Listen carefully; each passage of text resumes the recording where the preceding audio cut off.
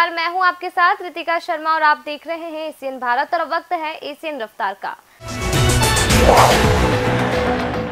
बालाघाट के कटंगी में भी सभी प्रत्याशी दल अपना नामांकन जमा करने एसडीएम कार्यालय पहुँचे और अपना नामांकन दाखिल किया। शाजापुर के अकोदिया में पुलिस को बड़ी कामयाबी मिली है, जहाँ एक 12 साल के बालक को अगवा करने के मामले में एक आरोपी को गिरफ़्तार कर युवक को दस्तयाब किया है।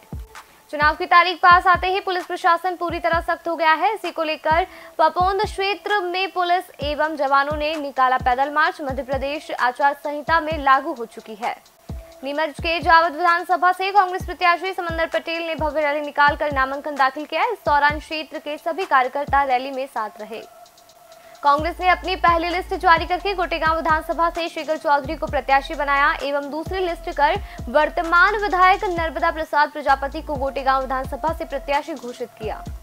आगर मालवा ज़िले के सुसनेर विधानसभा से निर्दलीय कांग्रेस से बागी हुए जीतू पाटीदार हज़ारों समर्थकों के साथ वाहन रैली के माध्यम से नलखेड़ा से धरोला, ताखला होते हुए सुसनेर पहुँचे। जल्दी अमीर बनने के लालच में एक युवक द्वारा कारोबारी से फ़िल्म स्टाइल में 25 लाख की फिरौती मांगने का मामला सामने आया है। पुलिस ने आरोपी को गिरफ़्तार कर लिया है।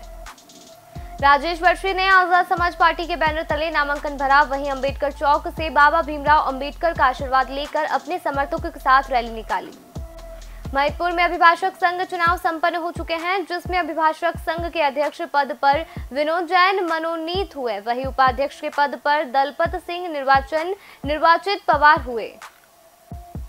शहर के रावजी बाज़ार थाना क्षेत्र में लगातार गाड़ी चोरी की वारदात सामने आ रही है। पुलिस के द्वारा जब वाहन चोरों की तलाशी करने के लिए सीसीटीवी फुटेज चेक किए तो चोर वाहन ले जाते हुए नज़र आए। इसके बाद पुलिस ने वाहन चोरों का पीछा किया। वाहन चोर तथा एक कबाड़ी को रंगे हाथों गिरफ़्तार किया।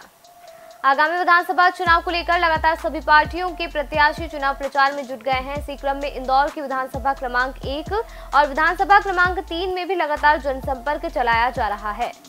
नेपानगर विधानसभा क्षेत्र के धुलकोट में भाजपा प्रत्याशी मंजू राजेंद्र दादू के समर्थन में मुख्यमंत्री शिवराज सिंह चौहान पहुँचे और प्रत्याशी के लिए जनता से समर्थन मांगा।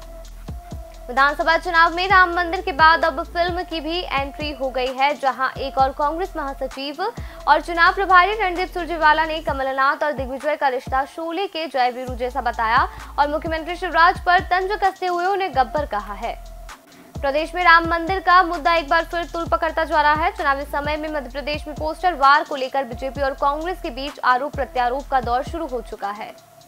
निवास में भारतीय जनता युवा मोर्चा मंडल अध्यक्ष केशव जोशी की फेसबुक आईडी किसी अज्ञात व्यक्ति द्वारा फेक तरीके से बना ली।